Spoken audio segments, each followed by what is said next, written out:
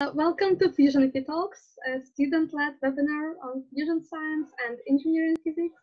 And our speaker today is Johannes Lips from Belgium uh, on the topic of uh, 2D robotic control of a plasma probe at uh, TJK Stellarator.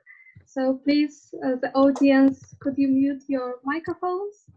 Uh, and Johannes, if you could give a brief introduction of your background and um, activities you have been working on and briefly introduce yourself. Uh, that would be great. Yes, uh, thank you for uh, hosting this talk to start with. And so, as said, my name is Johannes Lips. I'm originally from Belgium. My bachelor was also at the University of Ghent. Um, then last year, for my first year of this master program, I was in Stuttgart and this year I'm in the Université de Lorraine in Nancy. Um, my thesis uh, on which I will be working, I'm already starting a bit, uh, but next semester mainly I will be working on this is on uh, antenna design for, for multi-reflectometry purposes, so for diagnostics. And today I will talk to you about uh, the 2D robotic control of a plasma probe which is a project that I worked on uh, last year I, when I was in Stuttgart. I was uh, employed for 10 hours a week from October to July by the Plasma uh, group um, to mm, basically upgrade a system that they already have since uh, 2000, more or less, um, which is a, um, well, to the robotic control of a plasma probe. And um, I suggest we get started with um, ha having a look at uh, the device. Just a quick note. Which is, uh, uh, please, uh, the audience, feel free to ask questions throughout the talk uh, because we try to make it as an open discussion. Uh, and don't wait till the very end if you need to clarify something. Sorry. Yes, yes, indeed. Uh, if you would have any questions in between, then uh, just ask. There's no problem in interrupting. Um, thank you for adding that. Um, but oh, at the University of Stuttgart, um, and it uh, got started in, in CIEMAT, which was at the time not even called CIEMAT, as uh, this TJI. Then it was upgraded TJI-U, and then TJK from Kiel because it was moved to Germany to Kiel. Uh, CIEMAT in Spain for those that don't know that.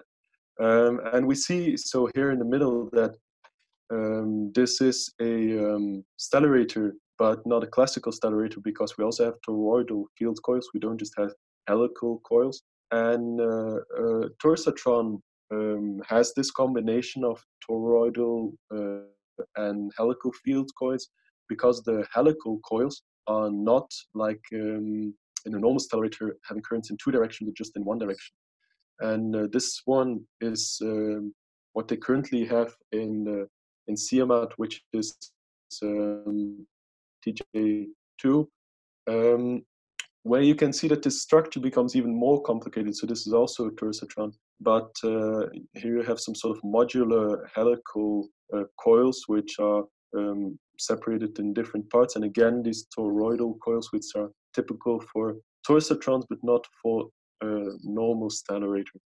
Also on um, this picture, we can, on this series of pictures, we can of course see that, well, the device becomes more and more complicated as with most fusion devices. Um, they are upgraded through time uh, to have more uh, functionality on uh, uh the middle, what well, the basis remains, of course, with this device. So in the helical coil, we have some cooling channels here. Uh, that's um, the copper we can see here. It's still present here. It's a bit more difficult to see, but what's uh, new, for example, what they are building now in Stuttgart is a gyrotron, uh, more or less next to where this picture was taken to provide extra heating on a, on a different frequency.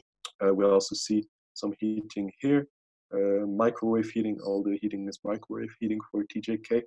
The device that we will be focusing on today is, is this device, with the 2D like probe controller, which we can see here from a different perspective. And um, it can, of course, move in two dimensions. That is the essence of this device. And inside will be a Langmuir probe mounted, like these Langmuir probes. Using the Langmuir probes, we will apply voltages to the different probe tips. We will measure the currents which flow through it. And that way we get a current voltage characteristic from which we can get the density and temperature of the plasma. Um, it is, of course, very interesting that we can move it in two directions because that allows us to do uh, sweeps. Um, so we can get characteristics, uh, for example, along a certain line or a certain section of uh, the plasma. And um, it is a very interesting device, which is in for the plasma group at the University of Stuttgart, crucial for their research. Um, we will have now a closer look at what actually makes the movement, because that is very important for this device. So the section which is marked here in red is um, one uh, linear movement component in the z direction in this case, which um, we see again here. Here we have exactly the same structure. So this is not the same device as you can see. It is a 1D control, and uh, this can also be mounted here at the same port. Uh, and then you would just have one uh, direction that the probe can move. Um, the advantage of having a look at this is that it, uh, well, for me, it allowed me while I was upgrading to test the device with uh, two of these um, 1D um, manipulators connected to my computer instead of a chunky uh, 2D manipulator. And the working is exactly the same. You have motor, which means that you can control the step size very precisely. You can send a signal to this motor turned by 0.01 um, degree, and it will do exactly that. It has a, um, a feedback loop to make sure that it will um, do exactly this. Um, this motor will turn, and it's connected to this rod, which is this rod, which will also turn, and then this functions as a wheel, which will then make this plate uh, have a linear movement downwards or upwards, and uh, that will also then move the probe which is mounted in this uh, vacuum compatible tube. The yellow is just um, for protection, so you can ignore that. Also, we can see that there are multiple switches. There's two on top upwards, and a vacuum compatible tube. The yellow is just um, for protection, so you can ignore that. Also, we can see two limiting switches and one reference switch, and you see to the plate and push on these switches so that they can be activated uh, and that's basically it. That's that's how this works. Are there any questions on that? Uh, on the working of this um, manipulators? Uh, may I ask? Maybe I'll ask that uh, first. What is the precision uh, with which you can uh, position uh, the probe? Um, I do not know exact precision of the probe. I know that uh, the motor can move with a precision of um, 0.01 radians.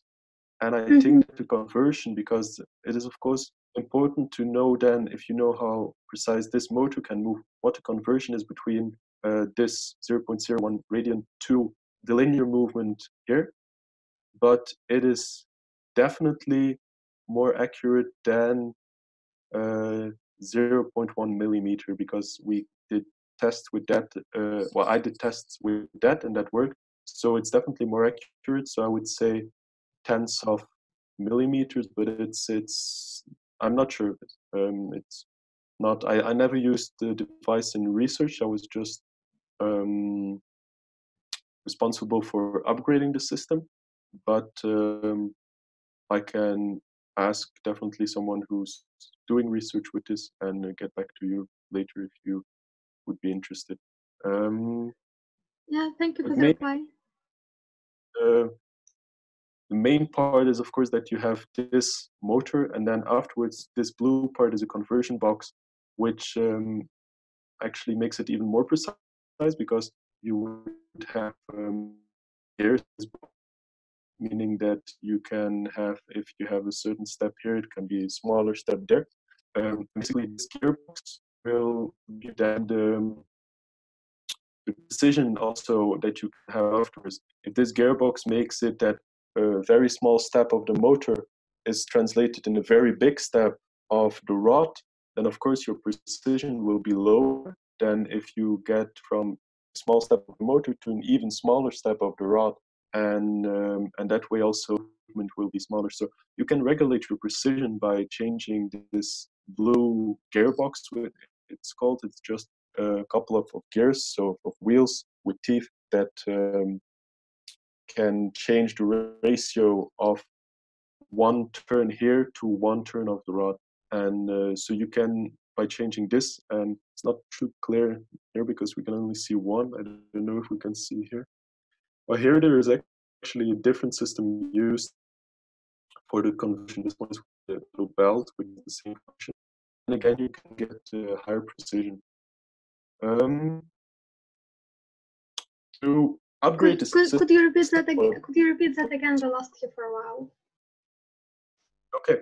So the essence is that you can upgrade the system and go essence by changing the box. so by changing the ratio of one turn of the motor, one turn of the rod, of the worm wheel. And here, for example, in the 2D device, the um, transmission is done with a different type. It's not clear in this picture, I know, but you can see that there's no blue box because there is no blue box here, a different type of transmission, which also means that um, the accuracy of this rod translating can be different of the accuracy of this rod translating. It can be different from the one at the big one at the back, which is actually different um, um, from the one at the back. Um, yeah, Johannes? Yes? Yes. So I have one doubt on the slide. Yeah, like the slide you are talking so, about like now i'm actually seeing the slide uh, with hardware software okay so in this slide i have one doubt so we have actually uh, two like a robotic control like for moving in the vertical direction and the mm-hmm. horizontal direction. Yes. yes and both are connected to the langmuir probe. So for example if this vertical let's say it's working and it's trying to move the langmuir probe up yes. then how mm-hmm. these two systems are attached the horizontal one will be attached. I don't know where is the attachment point for this two systems so in in this uh, specific case so with with the with the two separate ones you mean right? Not with the one so you're not talking about the two that we have here right? This is clear? The the two dimensional yeah so the these two uh, controls are attached to a single Langmuir probe, right? So um, yes, so this one will control this axis, and this one controls this axis, right? Mm -hmm. Yeah.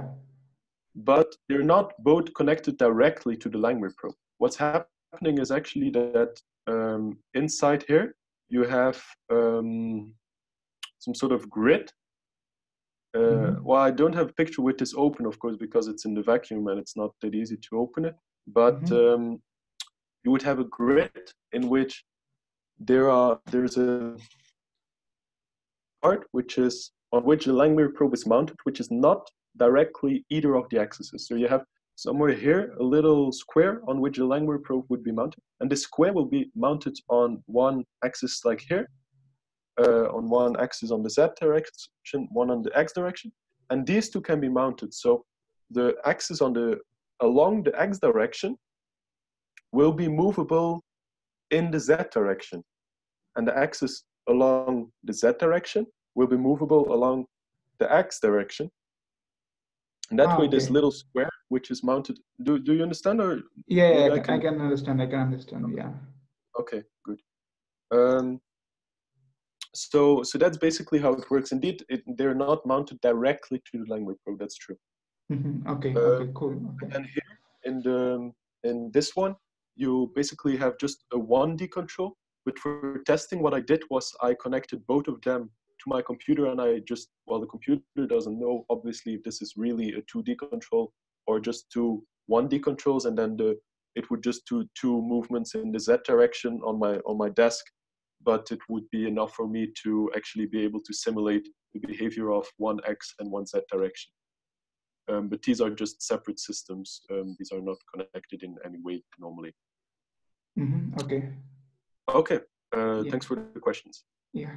So let's move on uh, to this slide, uh, which is basically the, the schedule on upgrading something. And um, this is the, the hierarchy we can see here of um, the different components that are necessary to make a diagnostic device like this work. To start with, it's important to know that the system that um, I upgraded was running on Windows XP, which is uh, a bit of a shame because it's no longer supported by Windows. You have a higher risk on viruses, and mainly when it crashes, it's done. You cannot just buy new license codes for Windows XP. So um, it would not be good if this happened. And uh, therefore, what you want is, of course, to be able to upgrade Windows XP to something new. However, uh, to be able to do that, you need to have also a compatible version of LabVIEW. LabVIEW is the programming language in which this um, probe system is programmed. And the LabVIEW version that was used um, was LabVIEW 8.2, which is from 2007. And um, the problem is that if you want to upgrade Windows, you need to have a LabVIEW version which is compatible with the newer version of Windows, and it's not the case with LabVIEW 8.2.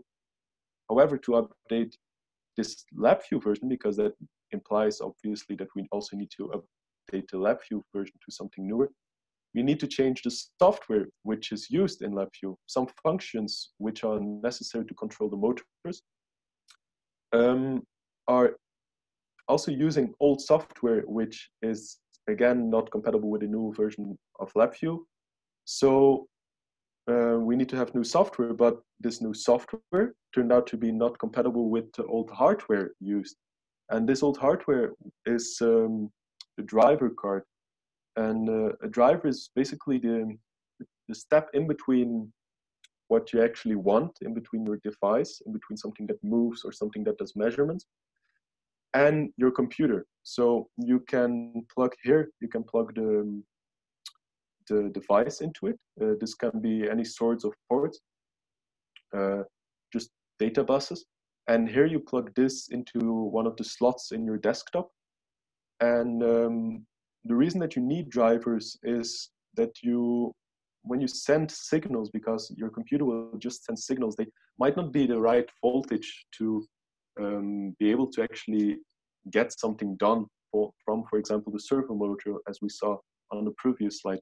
What you need is something that converts these simple digital signals to actual signals that can be used um, by the device. Uh, if you send just a nice string of, of zeros and ones to a servo motor, it will not do the step that you asked it to do. And likewise, when it sends you its feedback signal, uh, the computer does not, not know how to interpret this. this. This is basically the interpreter of the whole circuit. And um, what does needed to be done was to change the hardware, to change this driver to a new driver. Um, both are from physical instruments, so both will be compatible also with these motors that we saw on the previous slide from physical instruments, which is just a company. This new driver comes with new software which can be used in new LabVIEW, which can be used in a new Windows version. Um, and therefore, it was necessary to change all of this in this hierarchy order. So if you want to change the upper layer, you also need to change all the downward layers to make sure everything is compatible. Um, and then there was the same problem actually for the data acquisition part. A bit different um, because here there was just one change to be made, and that was that um, LabVIEW, old, the old LabVIEW version used to work with what's called NI National Instruments, which is the company that provides LabVIEW DAQ, data acquisition. And this was changed to NI DAC MX in 2004. And this software, these functions that are necessary for the data acquisition and are normally used in LabVIEW uh, in the old version of LabVIEW can no longer be used in the new versions of LabVIEW. So all these functions also needed to be changed to uh, NI-DAC MX. Um, are there any questions about this? I think maybe it's not that easy to understand um, because, I mean, it's of course clear that you need to understand you need to upgrade all the steps but i don't know if i was clear with my explanation yeah. of the driver yeah can you tell about the hardware like what's the purpose of the hardware it, it yes. receives like it sends yes. output to the control system and receives input from the computer is it right or exactly in both directions actually this is, is some sort of interface which um, changes so it's also it's two times a, a different hardware right here we have on, on the motor control part, we have the motor drivers, which uh, send and receive signals from the motors and send and receive signals to the computer. But it's basically these drivers make sure that the, the systems can use their own um, their own uh, necessary strengths. Like you need you need to have a certain voltage, for example, for for um, these motors to operate, right? these uh, these motors need to be under I don't know, for example, five volts the entire time to be able to operate. If you would just connect directly your motor with your computer, there wouldn't be a five volt signal being able to get sent through uh, one of the one of these cables, one of the one of the ports of um, of these buses. Um, and therefore, you need a driver which which does the conversion between them. And then for the um, data acquisition part, so that's what you get from the Langmuir probes, it's exactly the same. You also need to provide, of course, for a Langmuir probe, you need to provide a certain voltage to the to the probe. So you you want this to be done on the one side, but on the other side, you don't want your computer to give this voltage, and therefore you have this card which which does the conversion, which makes so that your computer signals are um, processed uh, or yeah processed in the correct way by your uh, components that then you you use for the actual movement or for the actual data acquisition. So these drivers are basically conversion cards, uh, and they can be used for for tons of things. Um, does that answer the question? Yeah, it, yeah. Okay, so actually next part is a bit more about these drivers. So here you see a couple of cards. I mean, they're not necessarily all what you would call a driver, but um, in the end, the function of, of cards like this is always the same. You get a certain input, like here it's USB. Uh, this can also be, for example, uh, inputs that you get from data acquisition. A lot of modern data acquisition devices actually run through USB. It's not because it's a USB port that you can plug in a USB stick. Um, and uh, or you can have weird connections like here or here and then you see that uh, this is the, the connection that you would make with your external device and this are the connections that you would make inside in your desktop with ports which look like this um, and the ports that we needed also in the new computer were the ports in which we can plug in the data acquisition card because for the um, motor control part you can see that we have a little separate unit which uh, does no longer need to be plugged in in one of these slots, but is just connected through USB actually. However, for the data acquisition, we did need a certain slot. And that was a PCI slot. And um, a mistake that we made, me and my supervisor, was that we uh, mistook a PCIe slot, which was present in the computer I was working on, for a PCI slot, which was not present. Uh, therefore, we in the end weren't able to plug in our data acquisition card, and we actually spent a couple of well, a couple of days um, trying to change or to make a conversion maybe. But then you need to be careful because if you do a conversion from a PCIe to PCI, you might also have um, then that uh, the voltages that you need cannot be supplied over this conversion unit. Uh, so that was a bit of a mess. In the end, we just ended up um, taking all the software that I, I programmed to another Windows 10 computer and then just run it from there.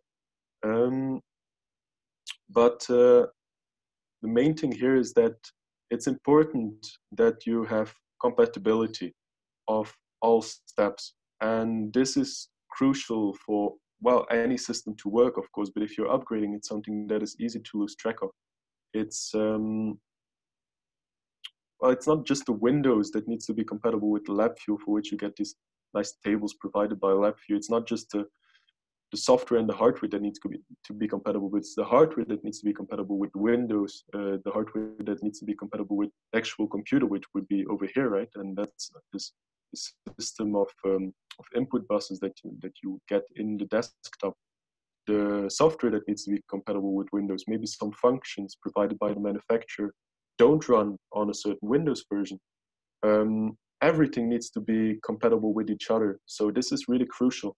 And uh, it's also something that when you upgrade a system, you need to take into account that you, before you actually get started, you, well, of course, you need to understand what you're doing. And then you need to make sure that you get all the compatibility tables and you make sure that you have one place where you can say, okay, over here, this is compatible with this, this is compatible with this, this is compatible with this, and everything just matches. Um, can I proceed or are there any questions? The next part is, um, is about LabVIEW. Uh, but uh, if there are any questions about this is the big break, uh, everything before was more general, everything later will become uh, very focused on LabVIEW. So um, if there are still any questions about um, drivers or about uh, anything else that I mentioned, then please let me know.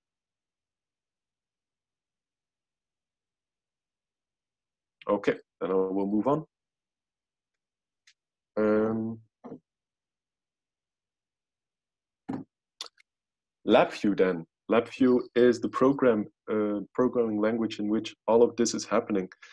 And um, this is the interface of uh, the measurement system and it's updated in 2019.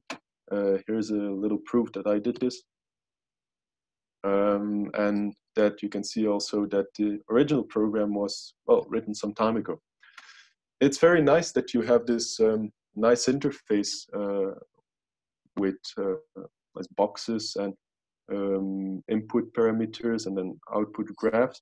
And the very nice thing of LabVIEW is that you don't have to worry about this at all. LabVIEW automatically provides everything you need to make this because it automatically will make a graphical interface when you create some functions. Uh, we will dive into that deeper uh, later on uh, when I will have a small demonstration of LabVIEW. And um, this is the front panel, and it's well everything that looks like this is LabVIEW. Uh, you will always get this uh, gray background. Uh, you will have these arrows on the top for starting, stopping. You can eliminate this, but most of the time people don't. And um, there is, however, also the backside of this, and this is the block diagram. So here we had the front panel, and then the other uh, panel is the block diagram, and this looks like this, and this still looks okay, but uh, this is all you get. This is your programming language. LabVIEW is a visual programming language, unlike most other languages. Um, and that means that you program by clicking and making blocks and connecting lines. It has some parallel to be drawn with um, electric circuits. You can just have some input and then uh, it will be processed and then you have some output and then it passes on to the next function and it really works or you can imagine it at least as some sort of analog system in which you just have a couple of boxes and you connect them and there's a signal sent through. Um, it's nice uh, and easy to begin with. That's a, a big advantage of this system because, um, well, for example, Lego Mindstorms, the, the robot of, of Lego, also works with this block diagram system where you just have some blocks and you connect them and something happens. If you want to make big programs, it gets complicated very, very soon. Um, this is, I think, the best point to switch and have a look at um, a small demonstration of LabVIEW before we continue. Uh, I will just minimize this and this and this. Uh, can you, can someone confirm that you can now see um, LabVIEW, two yes. empty windows? Two empty windows okay. LabVIEW. Okay, perfect. Okay, so um, LabVIEW will give these two windows like we had before, the front window over here, the front panel, and the block diagram. And in the block diagram is where the coding happens. So when you right click, you just get some functions and then you can, for example, say, okay, we're gonna have an addition done. You just put it there and then you see, okay, you have some inputs, some outputs. And um, then you can, by right clicking on the X, you can say, okay, I want to create a control for X. And then you see that the moment you did this, it shows up here. So this is what I was telling you about earlier. The graphical user interface is automatically created, which is great. You can do the same for the Y, also create a control. And then for the X plus Y, we create an indicator. And then you see that you have X, Y, X plus Y. And when we run this, we can say, okay, we add five plus 2. And then it's 7. The reason it's going slow, and that's a bit annoying because I forgot to switch it off, that I had this lamp here on, um, which I will discuss very soon. However, if we would now just click here, 3, 4, 5 plus 5 is 10, it changes instantaneously. And that is exactly the strength of, uh, well, it's one of the strengths of LabVIEW that you can do very quickly things like this and you see directly the result. It also allows for very fast testing of what you just programmed because you can always, also in, in small sub functions that you program, you always will have this um, graphical interface, not only for the main program, but also for small programs that you make. And um, then you can, of course, well, make oh, make longer programs.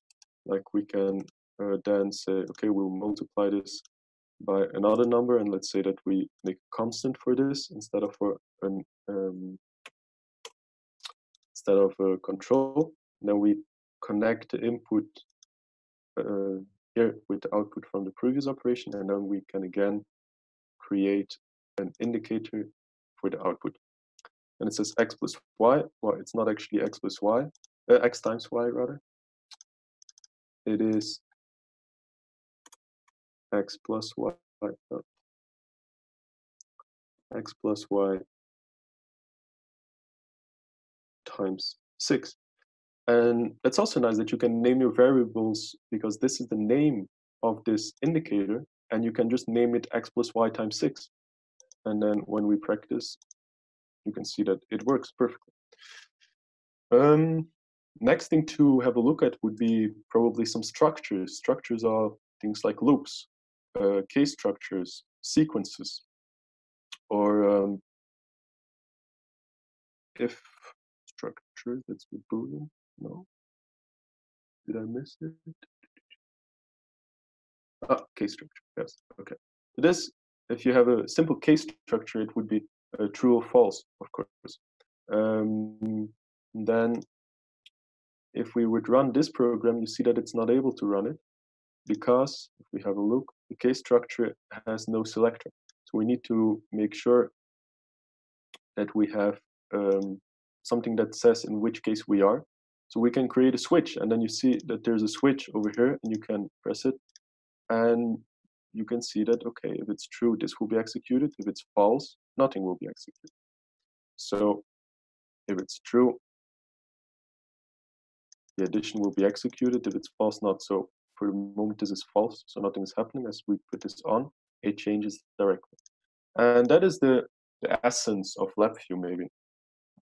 Um, that you just drag and drop things and you connect them and that's it. Then you can make this um, a program and then maybe that's also interesting to demonstrate. So I'm just gonna drag this out here and I'm going to delete this and we're back to this uh, basic program. And what I'm going to do now is I'm just going to save this as a VI. Um, I'm going to save this as untitled one VI. That's fine with me. Okay. And then I'm going to open a new VI. VI is just a name for a program. And we're going to do something different. We're going to open. So when we are opening here a function like we did before. Instead of taking the functions which are listed here, we will take this program that we just wrote entitled one. And then you see that here is a little cube and it doesn't do anything. And if we click on this, then we get back here. And if we want to use this program, because until now it is a program, if we want to use this as a function in a different program, in program two, which we have here, then what we need to do is we need to say, we need to define some inputs and outputs. We of course know that these are the inputs and this is the output. However, the program itself doesn't know that yet. So what we can do is we can have here where we see the same icon as we have here, and we can connect some terminals. We can say, okay, this terminal will be X, this terminal will be Y, and then on the other side, this terminal will be X plus Y times 6. And then if we save this, what we just did is we turned this program into a function. It can still be used as a separate program. You can still run this, and this still works. But the advantage is that here, now you can see that we have terminals on this cube, meaning that we can also do exactly what we just did before. We can create, maybe let's take some constants here instead of controls. Um, and then an indicator. And then we see that here we have the indicator of this little program and, and you can see it's way more well it's already smaller even though it was a very simple function and then we can maybe say okay we want to add 2 and 1 and multiply it by 6 we run it and then here we see that this is 18 and that is i think really the essence of um, of LabVIEW that you can have programs simultaneously be programs and functions allowing you to test them because we just made it here. We were able to test everything here and then we directly go to a higher level and uh, we go here and we use this as a function not no longer as a program and we can just use it exactly as we did before. And um, yeah that's i think LabVIEW in a nutshell. Uh, then there's this little lamp which is uh, the error um, well or the execution analyzer. Uh, it's what you would normally do if you are um, debugging your code. You would look at it step for step. And this is also quite nice to do here because if you highlight this, what you will see is that there will be dots moving along the lines, really like signals moving. And they will get to this cube, and then they will be proceeded here, and then they will get back here, and you will have some output here. So if we execute this now, you see two dots move there, then dots are moving here, then dots move back here, and then it executes. And that's also very useful when executing also that you can also um, add probes just as if you would have an analog system. You can go to tools uh, view sorry view uh, tools palette and you can say okay I want to probe whatever comes through this wire. And now when it gets executed so this is probe number one you will see you will see that the value passed through it is 2. And then you can also add a probe here. And then you can see that the value passed through this is, wait for it, okay, 18. And that way you get um, a very nice um, uh, direct, uh, well, mean of controlling your code, of testing your code before you use it, and of uh, and well of, of using uh, LabVIEW as a programming language, which is very intuitive, but gets a bit tricky when you make more complicated things. Last thing I want to show before we return to the presentation is uh,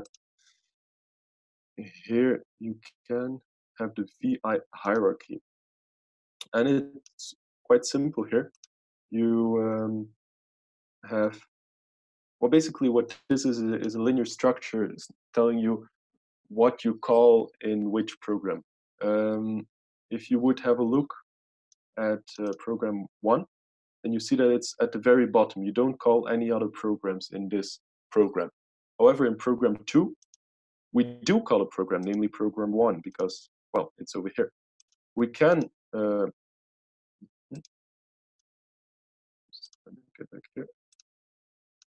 Okay, we can, for example, if we would add this and we would put it here, oh, if we would delete it rather, then we will see that here it also gets deleted and we have actually now two separate um, programs which are not interconnected. But this is very interesting, this hierarchy, because then you can have multiple levels and you can have a nice view of how your um, VIs, how your programs are interconnected. Um, it is, I think, a very interesting thing, LabVIEW. It's totally different than what most programming languages are like, but it is very useful for um, for purposes like this, for in laboratory environments. Um, are there any questions on what I just explained? I, I, I was just curious um, how large the program can become and how easy or difficult it is to handle. Uh, that would be a huge code in MATLAB, and let's say how would it look like in LabVIEW if it's very. Yes, I will. I will come to that uh, in just a second. Um, so maybe I can jump ahead even and show you it now directly what we just saw was this very simple hierarchy, right? Uh, with just one, two, three steps connected. And then here you can see already, well, this is the VI hierarchy of the um, program that I was working. And you see that already you call, okay, some functions here that you call here, these are actually uh, global variables, which uh, so they're not really function. But then here you see that the functions begin here there's a bunch of functions, here there's a bunch of functions. You see that the levels, well, it's really um, on levels. So you have one function which calls five, which calls 10, which calls, and so on. So the more, the deeper you would go, the more levels you would have. And also what is annoying uh, and means that you need a lot of screens is also that you need to open them in separate windows. You cannot just have code running one below the other. You always have a window on top of a window on top of a window. That's a bit annoying. Um, but to answer your question, how many uh, levels, how many um, functions you can have instead of a big chunk of MATLAB code, well, you get something like this, and then you get something like this, and that is, I think, the best representation of what a big LabVIEW program looks like. And it is not that clear. It is just a bunch of lines and this is really the best representation you can get in this VI hierarchy um, viewer.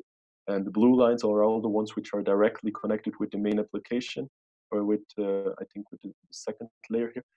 And um, this is what you need when you want to update the system as well, because suppose that um, all the data acquisition part which needed to be changed would be somewhere over here, uh, would be this cube, which is responsible for what would probably be some levels up would be this cube which is responsible for all the data acquisition within the main program and you would have to take a look at let me get back to this laser pointer you would have to have a look at all the levels or all the things that it is connected with on lower levels and see okay i need to change this main cube because it doesn't work anymore in the new LabVIEW environment because I uh, have incompatible functions on lower levels. Basically, that's what it would be. And um, you would have to have a look at the main cube that you need to update. You would have to have a look at the lower levels, at the lower levels, at the lower levels, at the lower level.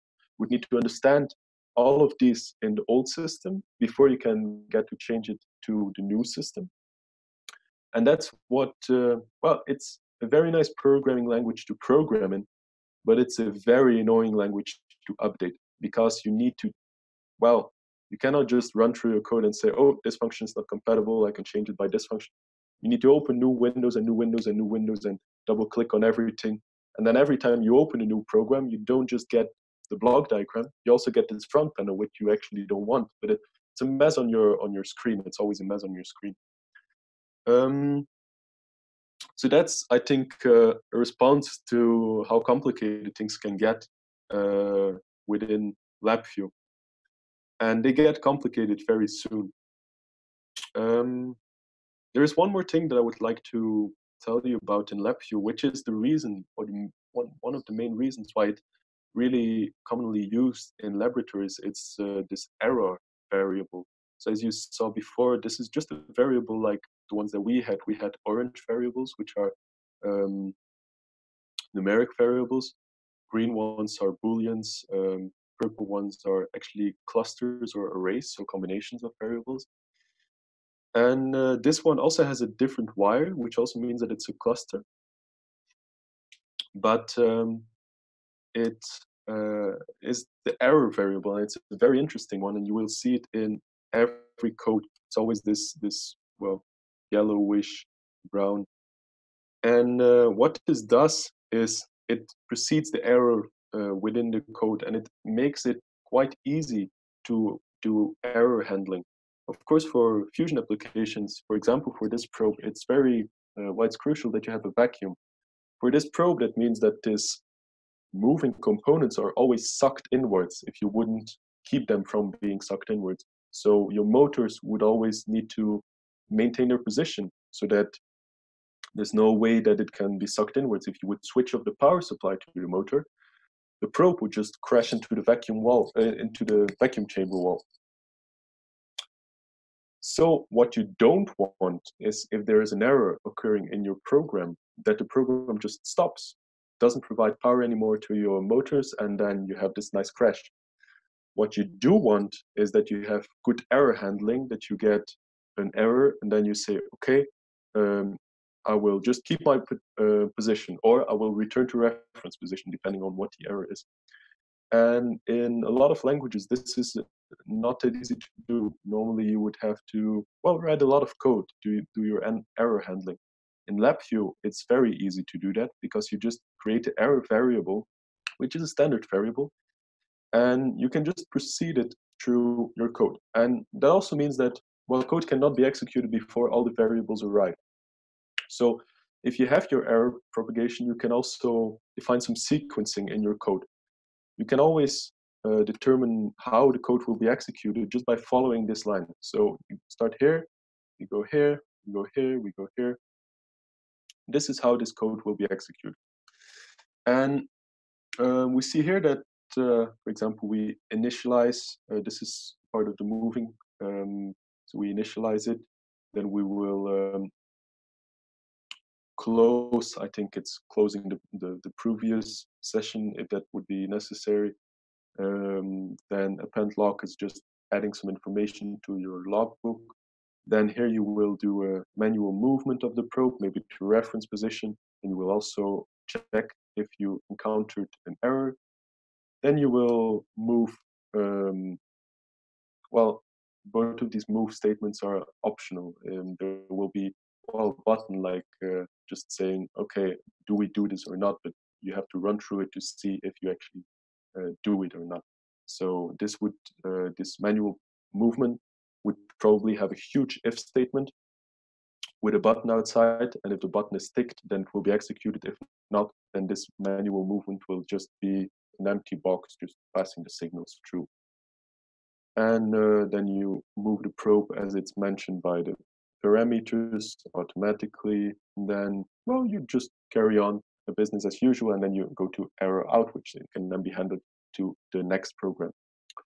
Um, the error propagation would always, uh, when this program it's not, but in this program it is, that you will always see that you have a bunch of uh, of uh, true false so case statements case structure if structures um, by which the error is actually the one saying if it needs to be executed or not and that's something that you will see very often in LabVIEW is that the error will decide what is executed. It makes sense, right? If, if everything's going fine, you just execute everything. If something is the matter, you stop executing it and you do something different.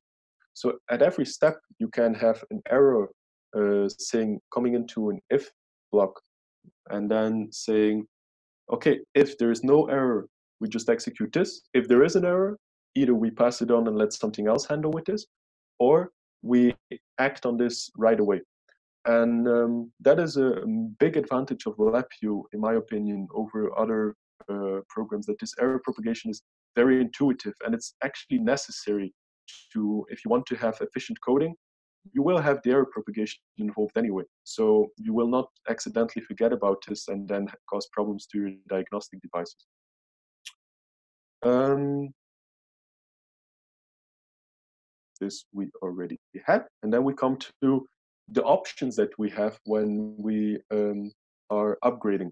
And um, this is uh, something which is tricky to do and maybe it's also not that clear when i'm going to explain it please interrupt me when there would be any problems in my explanation um, suppose that you would have this as a part of the vi hierarchy right so you have some different levels you have some interconnection meaning that this vi building block uh, would be used as a function in this one and in this one and then these would be used in a higher level and so on and so on and now suppose that these are the troublemakers. These are the components that are uh, not compatible anymore with the new version of LabVIEW, right? So these can be programs, for example, provided by the company who made the drivers. And in case that they are uh, so not compatible with um, Oh, so yeah. So if they if they're not compatible with with uh, new version, of course, we need to change them with the new functions applied um, provided with the new drivers that come with the new drivers, right? So in my case, these would have been all functions which use the old drivers for the motors, and the green one would be functions that use are used by the new drivers of the motors.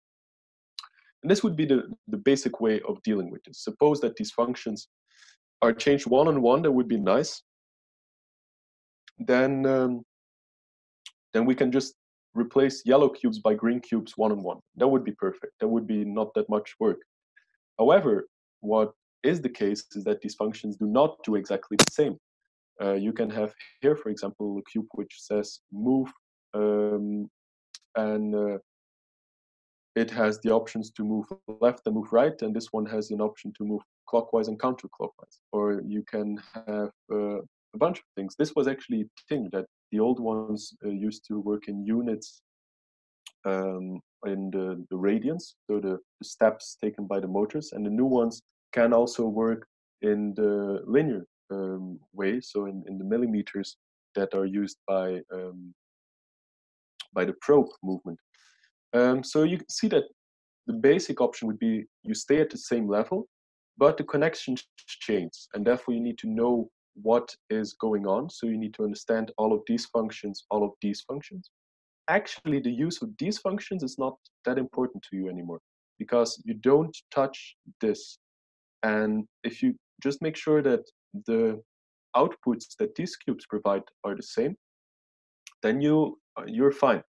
So what you will do often is change this, and then because um, the arrows here are changed, the inputs of these functions are changed, that also means that you have to change this level of function. So you replace the lowest level, and then you modify the middle level so that the output of the middle level is the same and you don't have to bother about anything which is above here. Just remember that you are probably working somewhere down here.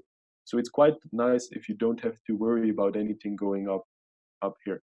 Because these programs are the complicated ones. These ones are the more basic ones, of which there are more, of course, in uh, in number, but their functionality is more restricted. Um, another option would be to have something like this. Um, suppose that these functions are actually the ones that the new uh, company or the new software provides are way more powerful already, then you maybe just skip this layer. Well, suppose that this would work in radians and um, you would use this function to translate it to linear movement, well, why not directly use the new one that can already work in linear movement as input for this level? Um, however, that means that you, in this case, do need to know what's going on here. And that can mean that you need a lot more time to, to do this. Um, another option would be that you have something like this, in which uh, you have some functions which are more or less the same as the ones that you had here. You see that this one and this one have the same connections with the cubes above. But some functions actually work on a different level already. Maybe um, the, the new um, software provides one function, one function directly, which can initiate the, um, the, the motors and move them to their reference position in one go, just standard there for you, then you might even skip a couple of levels and maybe there could be a green cube over there. Um, so you have a bunch of options to, to deal with uh, um, or to choose from, rather. And uh, the main choice will always be that either you, you change things at the low level and you don't need to um, you don't need to understand that much of what's going on in your code, or you change things at a higher level, but you need to have more understanding of your code. And um, if you change things at, at a, a low level, maybe maybe it is possible to skip a level, but maybe it will cost way less time to not do it, to just um, pretend that these functions can only do what these functions can do and then make more or less the same connections. Another problem which is important is not only the choice of, of the levels, but also the um, the form of the, the type of the variables that you use. Suppose that we have again this thing where you have the linear movement of the probe or the, the circular movement of uh, the servo motor. And uh, the new uh, functions provide um, millimeters and the old ones provided radians. And uh, suppose, however, that you don't want millimeters, but you do want radians. So the new ones are actually less powerful than the old ones. It's also possible. So what you need is to convert these units so that they can be used by, by the next cube, by the next function. And there, there are also a couple of options. You can maybe do the translation of units uh, in this in this intermediate layer because these are, are functions provided by the manufacturer. You will not have access in the block diagram there. You cannot just go and change um, what the output type is. For example, it can be as stupid as a decimal number versus a, a hexadecimal number, which are different in, in LabVIEW. Um, and what you then need to do is, is then, well, translate it so that you can actually proceed.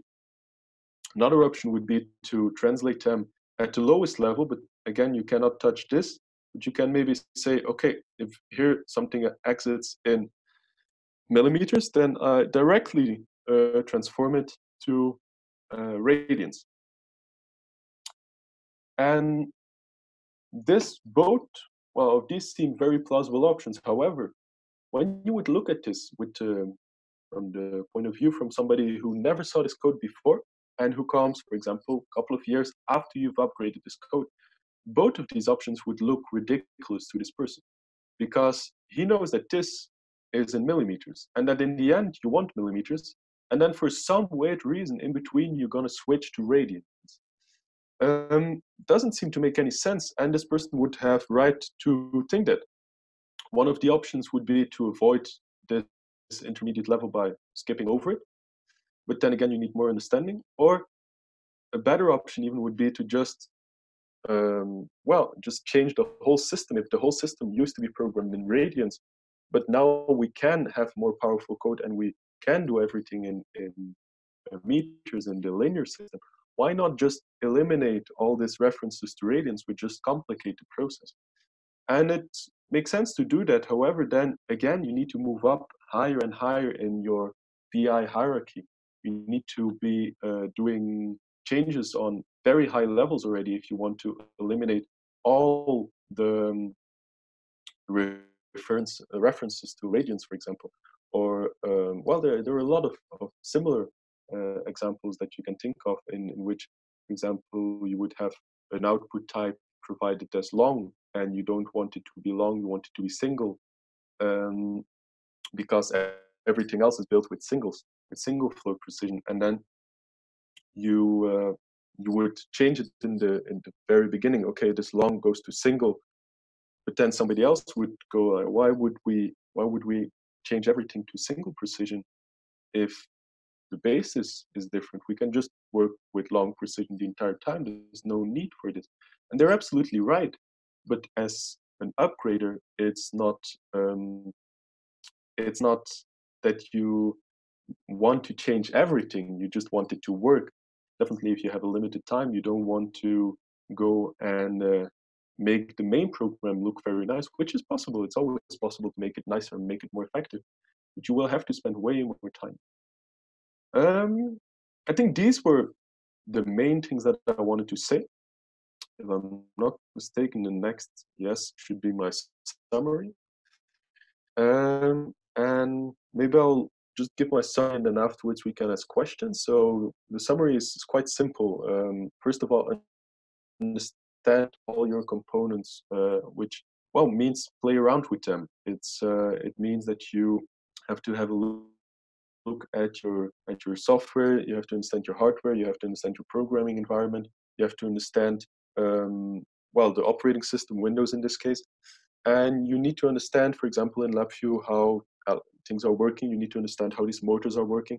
So you just play around with very basic things before you get into anything else.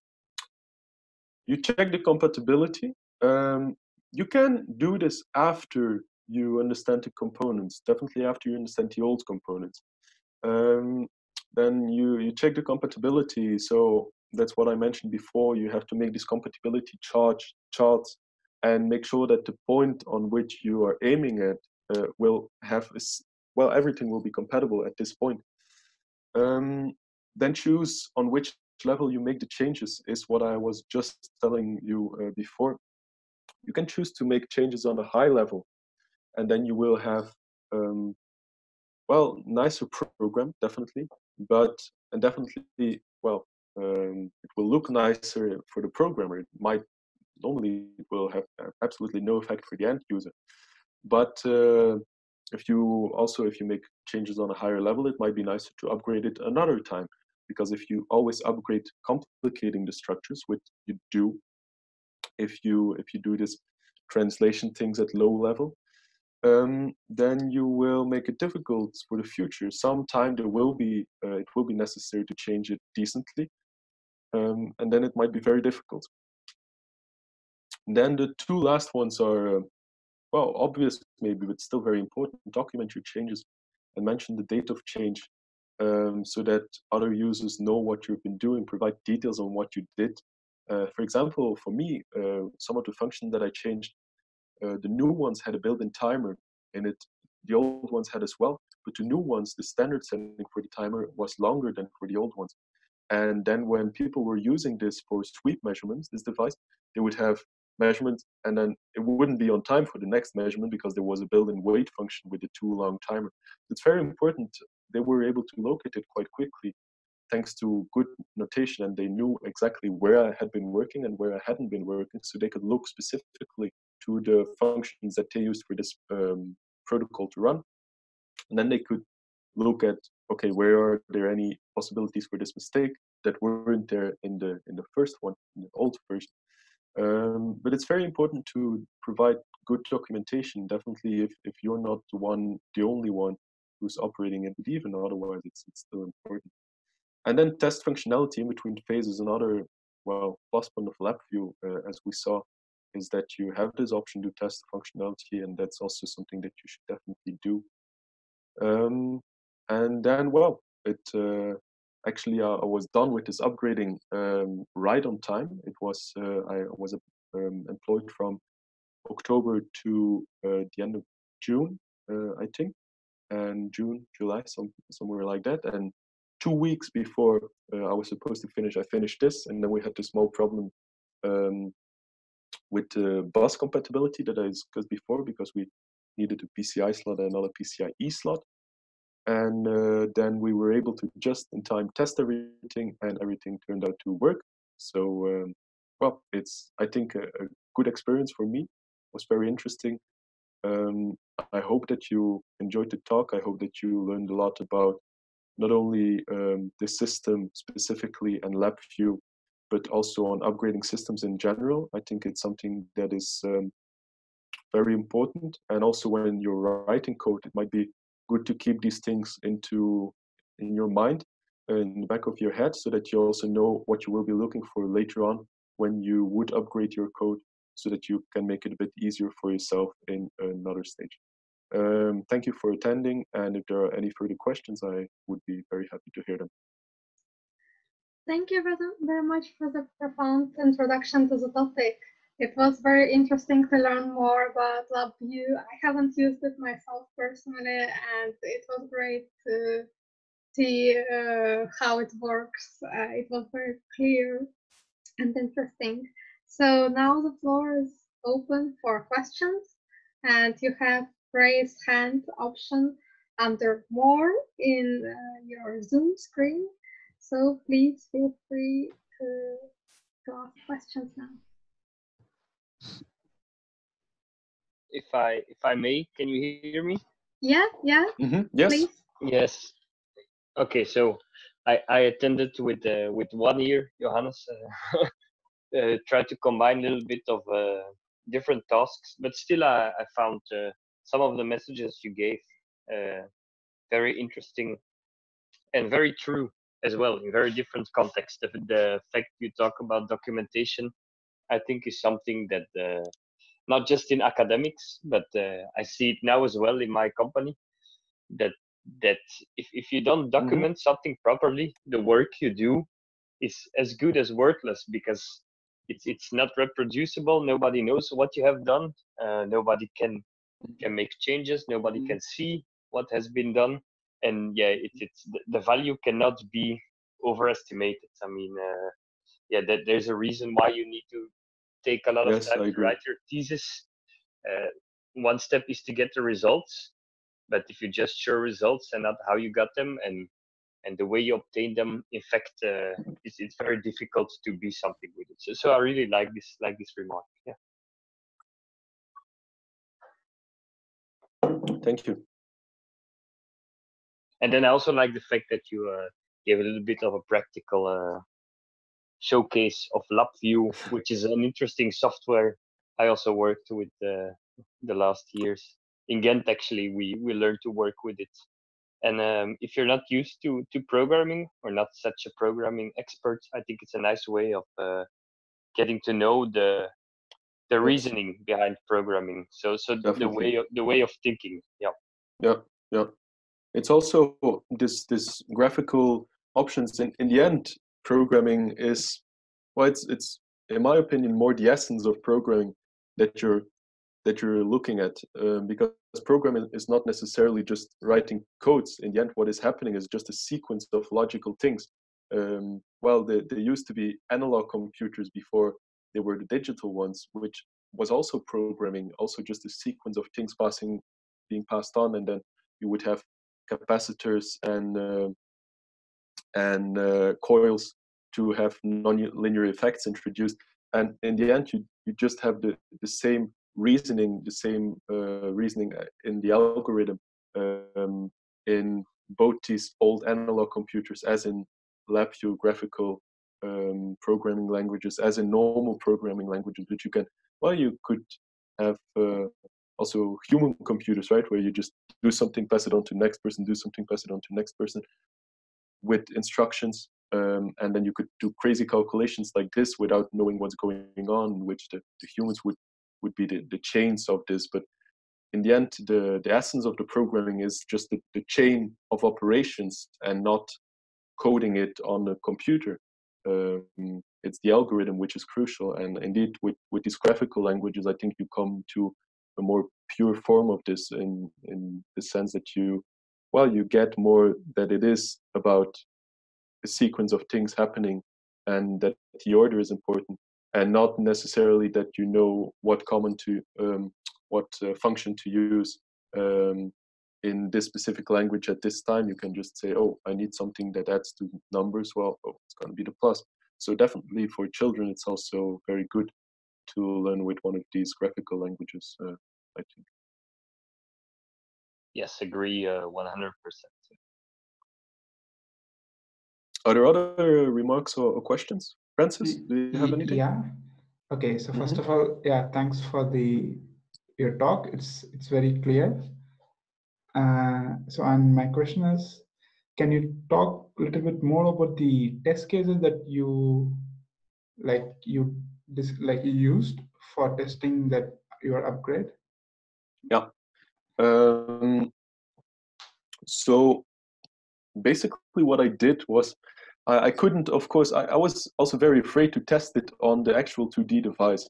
Because if I would have made, for example, a conversion mistake between um, the number of turns of the motor um, to the linear movement, I mean, of course, if I would if I would say that it moves one millimeter when actually the instruction sent to the motor is to move one meter, then it would crash directly. And these things can move very fast. And uh, well, it's uh, it was challenging, you know, because you cannot always be sure that what you write is going to be okay. Um, and actually, there was this conversion problem because what I had programmed in the first time was in millimeters, whereas the, the real program uses meters.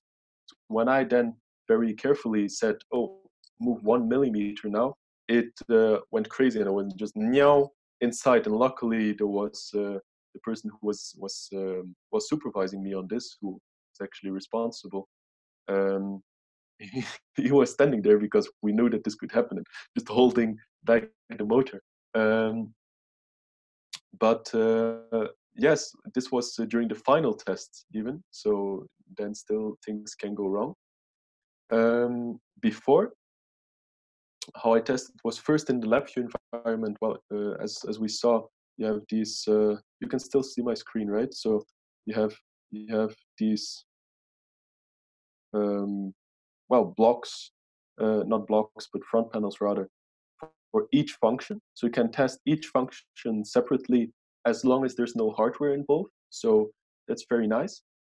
If there is hardware involved for the motors, I had to do 1D devices, so the two things that were standing on the table before, uh, on which I showed some details of the motor and the switches, um, which allowed me to um, to test the motor movements. Uh, first, I was very basic. I just made some programs testing if I could well move these things with the new software because nobody ever tried it before with the new software in LabVIEW uh, using the new hardware. Just a very basic movement, totally not yet in the frame of, of the of the 2D probe uh, manipulator, so not in this big uh, program with a huge uh, hierarchy, just separate programs, which then well could later be used as as functions if necessary. Um, so that was the testing of of this. Then later I uh, knew that this was working, and then there's a big step where you cannot test. Then you just um, well, you know that the code that you have the basic level is working. You need to then look for, maybe let's go back to this, then you need to look for functions and their equivalent functions. And that you can also test because you know how the old system used to work. You know that this function, for example, does um, a move. No, maybe let's make something different. This function makes sure that everything stops if you hit the lowest switch because it is a limiting case. Then you need to look for the same, more or less the same function here. So maybe this one makes sure, sure that everything stops if you hit the lower uh, switch, uh, unless you have another function which overrides it, which also was the case, which is also annoying because then you need to be sure that you actually know that there can be an overwriting of this.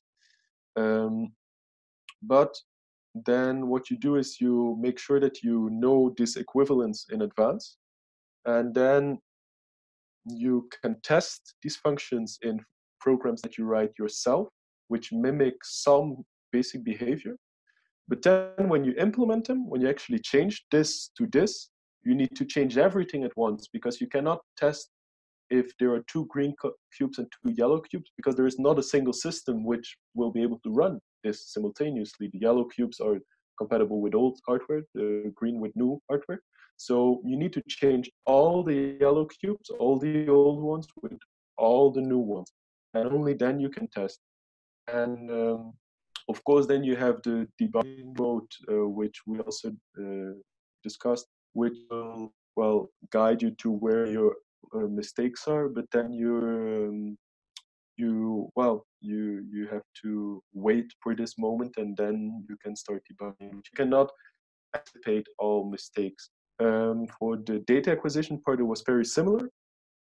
However, there there was an option to to uh, test with what is called uh, called virtual probe. Well, basically virtual probes. So you would have um, virtual inputs uh, simulated um, because uh, the data acquisition is also supported by the same company that makes LabVIEW, and they uh, provide this option to pretend that you actually have an input when you don't, and then you can have a, just a sinusoidal input and you can see if it's processed in the right way.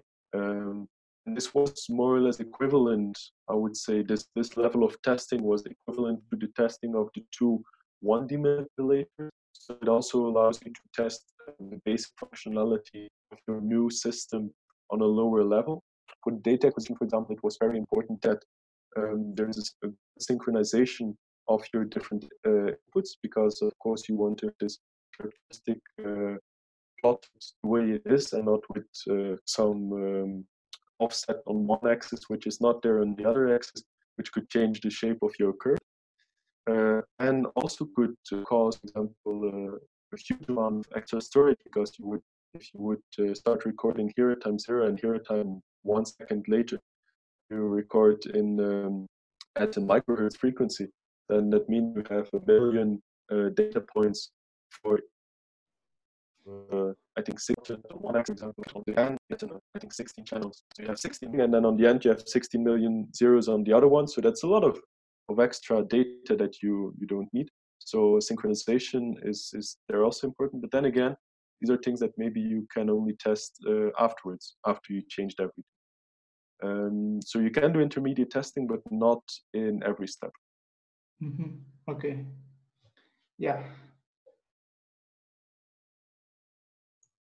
Okay. Any more comments, questions?